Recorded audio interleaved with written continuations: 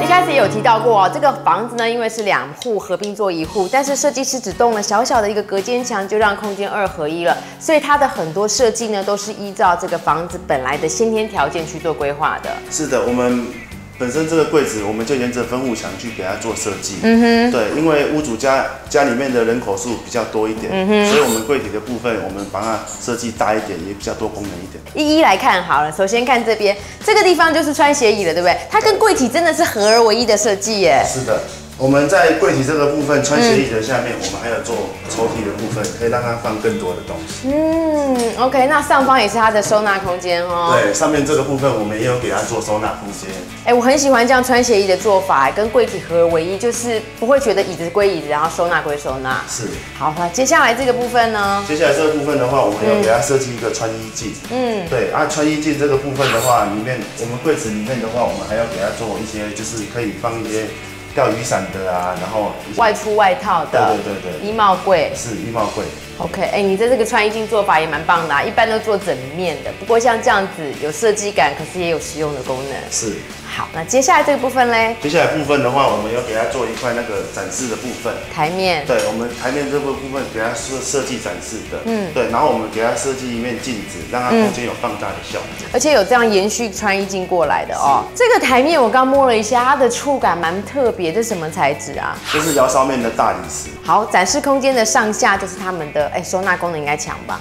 呃，我们本身这边鞋子的部分，家里面五个人来放的话，一定足够，绰绰有余的哦。这个空间还蛮大的。是，然后本身在这个电箱的位置的话，我们把它藏在里面。嗯哼。对，这样子设计起来也比较好看。然后以后它日后维修的话也比较方便。也比较方便哈。因为柜体的部分的话，如果我们整面做的话，会比较压迫一点。嗯。对，我们所以我们给它做上下悬空，然后去打灯光。嗯哼。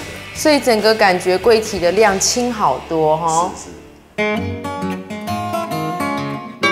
我们现在在这个地方呢，其实就是两户合并户右半边的这里。是的。好，这边你保留了什么？我们这边保留了建商原本给我们的厨房。嗯哼。对，然后厨房这边有一个半高的设计。这是建商原来就有的半高墙吗？是的，这边这边是原本建商给我们的东西，然后我们沿着这个半高的设计去做一个 L 型的吧台。这个吧台质感很好哎。对，这个吧台的材质我们采用那个黑色的人造石下去做的，而且是整个 L 型的部分都是人造石啊。所以质感感觉非常好。是的，哎，已经有了一个还不错的餐厅，还有一个吧台了。对，然后这个吧台的部分，我们可以当做备餐区。嗯哼。对，还有屋主他可以在这边享用早餐跟咖啡。有时候吃个欧阿米耍，在这边就可以解决了，对不对？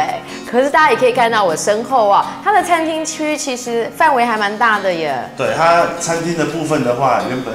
原本是客厅的部分，然后这一户的客厅，对这一户的客厅的部分，然后我们把它改成餐厅的部分。窗台边那边的部分的话，我们要给它做一些收纳柜的部分，嗯哼，对，上面也可以放一些电器、电锅啦、热水瓶啊，就放那个位置了。是，空间还算蛮大的。对，不过这个餐厅的设计风格还是维持男主人所喜欢的现代简约，所以大家可以看到它的天花板的做法呢也是非常简洁，但是质感也很不错。对我们天花板的部分的话，我们全部的灯光我们采用 LED 砍灯的吗？对，砍灯的部分我们全部整间都采用 LED 灯的部分。嗯，对，然后我们做一些简单的那个长方形线条，嗯然后让增加它的空天花板的层次感，嗯，空间的感觉。加了一盏吊灯之后，呃，这个餐厅的主要的中心点就出来了。对，哎，全户都用 LED，其实蛮省电的。对我们屋主其实蛮提倡节能。